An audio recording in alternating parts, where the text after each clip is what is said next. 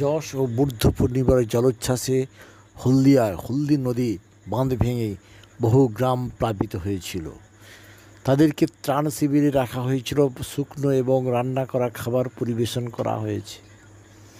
আজ কলকাতা হলদিয়া পোর্ট ভারতীয় মজদুর সংঘের সাধারণ সম্পাদক প্রদীপ বিজলি নিজ উদ্যোগে এলাকায় ত্রিপল এবং শুকনো ওর খাবার তুলে দিলেন। মানবিক মুখ প্রদীপ বিজলি।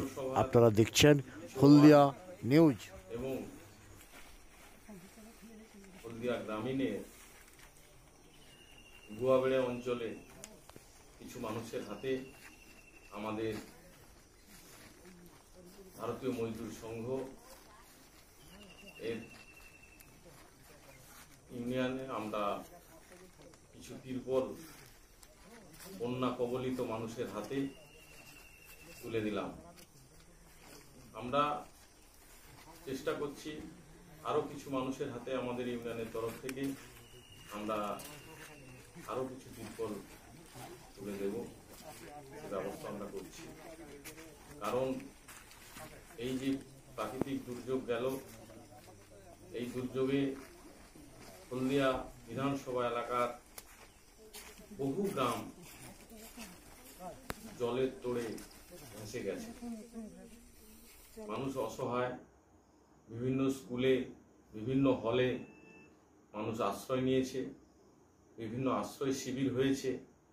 আমরা আমাদের ইউনিয়নের তরফ থেকে আগে আমরা শুকনো খাদ্য সামগ্রীও দিয়ে এসেছি ক্যাম্পে ক্যাম্পে এবং চাল, ডাল বিভিন্ন জায়গায় ক্যাম্পে আমরা আমাদের ইউনিয়নের তরফ থেকে দিয়েছি।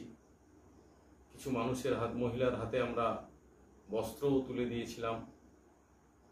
আমরা এই প্রাকৃতিক দুর্যোগ নয়, আমরা দু হাজার কুড়ির লকডাউনেও বহু মানুষের হাতে আমরা আমাদের ইউনিয়নের তরফ থেকে খাদ্য সামগ্রী আমরা তুলে দিয়েছিলাম। এবং শুধু তাই নয়, আনফান ঝড়ের পরেও বহু গ্রামে গ্রামে যে আমরা মানুষের হাতে তিরপল তুলে দিয়েছিলাম। তা আমরা আমাদের ইউনিয়নের তরফ থেকে আজকেও কিছু মানুষের হাতে আমরা তিরপল তুলে দিলাম এবং আগামী দিনে আরও কিছু তিরপল আমরা দেওয়ার পরিকল্পনা নিয়েছি এবং দেব। এই বলে আমি আমার কথা